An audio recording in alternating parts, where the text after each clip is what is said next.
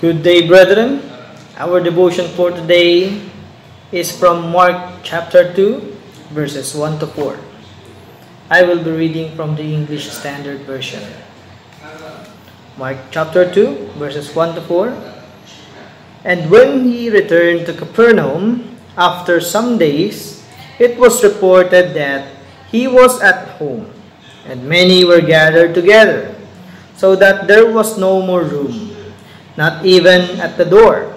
And he was preaching the word to them. And they came, bringing to him a paralytic carried by four men. And when they could not get near him because of the crowd, they removed the roof above him. And when they had made an opening, they let down the bed on which the paralytic lay.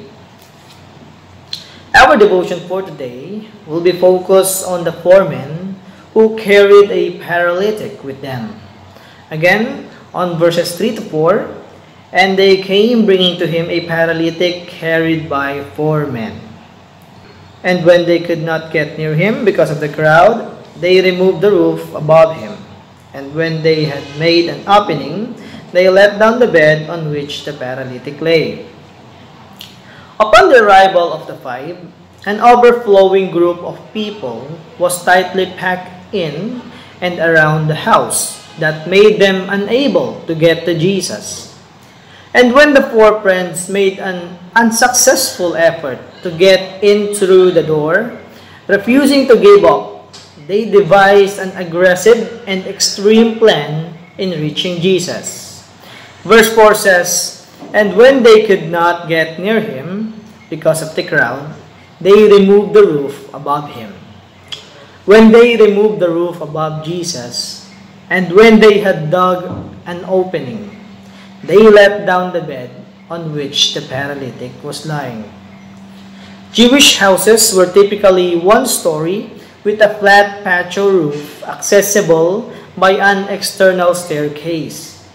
The typical roof was constructed using large wooden beams with smaller pieces of wood in between, covered by a thatch consisting of grain, twigs, straw, and mud.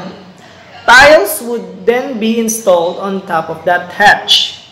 The four men carried their friend around the crowd and up to the stairs to the roof.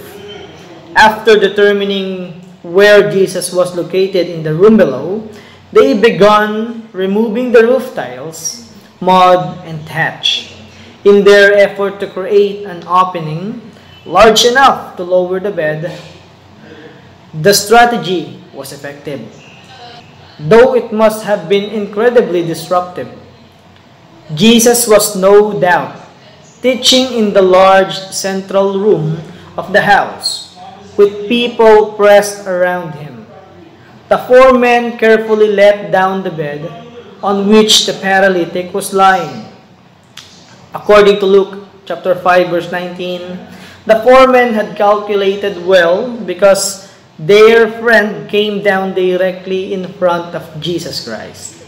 The reason why I am saying this is because it is our duty our mission as a Christians to usher our, our non-believing friends or someone we know to Jesus Christ.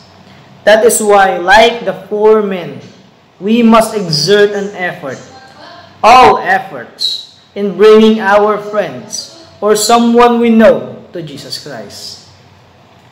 And if we are saying that all of our friends and all the people around us are already saved, still, we must exert an effort in bringing our friends closer to Jesus Christ. Who knows? Maybe some of us are still spiritually weak, especially those who are newly saved or baptized. And maybe some of us are getting weaker in our spiritual life. When that happens, who do you think will help us? just as the Bible says. Encourage one another. Therefore, strengthening one another is not a job only for pastors. It is a job for all. Through this quarantine, it became harder for us to know who becomes weak spiritually.